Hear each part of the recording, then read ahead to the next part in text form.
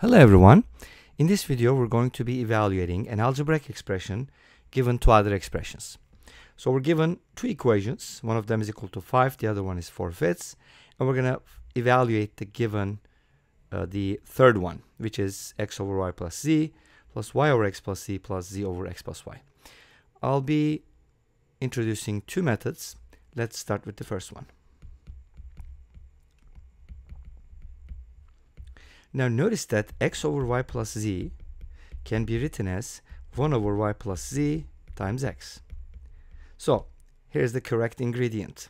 We're going to take the first expression, the first equation, and multiply by the second equation. Well, you're given two equations. What, what else can you do with them, right? You can add them, you can multiply, you can subtract, you can divide, so on and so forth.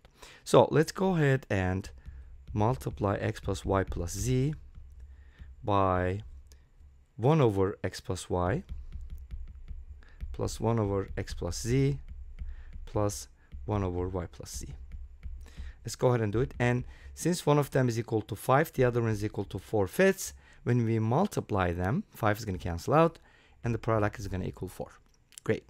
Let's go ahead and distribute x first.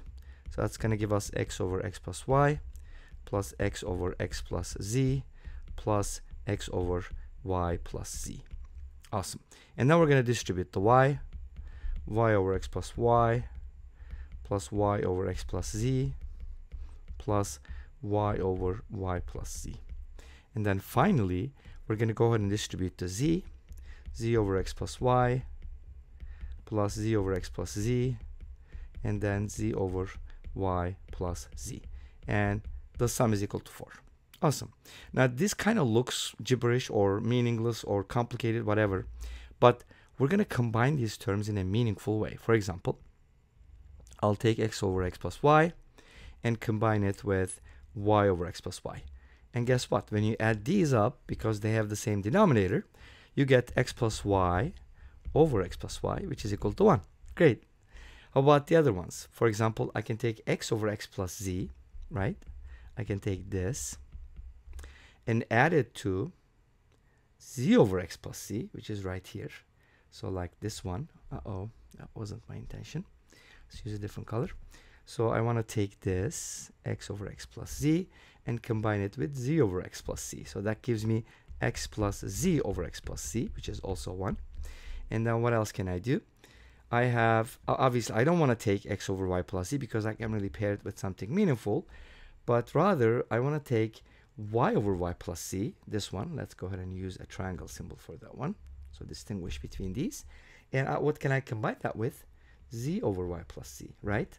And their sum is going to be y plus z over y plus z. Awesome. And what else do we have left? We have x over y plus z plus y over x plus z and z over x plus y left. Those are the leftover terms, and that is equal to 4, right? Great, so this is 1, this is 1, and this is 1. 1 plus 1 plus 1 is equal to 3. So we get 3 plus x over y plus z plus y over x plus z plus z over x plus y is equal to 4. If you subtract 3 from 4, you get 1. So this is equal to 1. And what are we looking for? We're looking for exactly that, right? So the answer is 1. This brings us to the end of the first method. Let's go ahead and talk about the second method.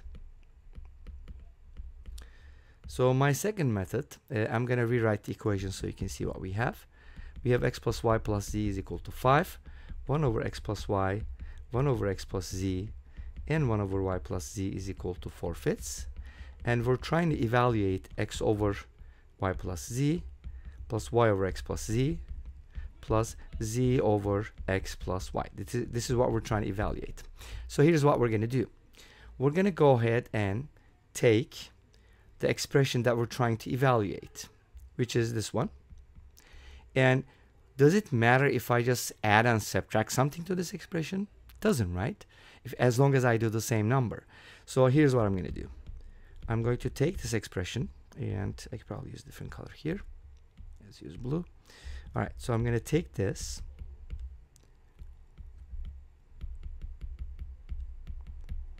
I'm going to take this uh, subtract 3 from it, and then add 3 to it. Why am I doing this? Let me explain. Uh, obviously, this balances out, but not only that, subtracting 3, I'm going to distribute the 3 here as 3 times negative 1.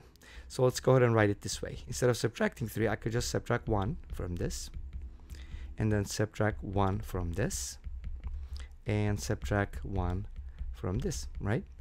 And then, of course, at the end, I have to add the 3. Awesome.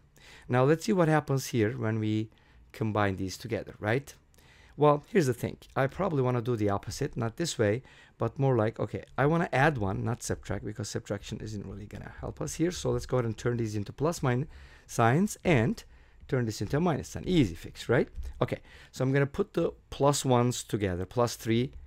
Uh, I'm going to split up the 3 as 1 plus 1 plus 1 and kind of distribute. Now look at each of these groups and hopefully that will make more sense to you now. What is that? If you make a common denominator, you get x plus y plus z over y plus z, right? Plus x plus y plus z over x plus z, and then x plus y plus z over x plus y minus 3 and of course, this is the expression, remember, this is the expression we're trying to evaluate. We, we still don't know the answer, right? But here's what we can do. We can take out x plus y plus z. We can factor that out.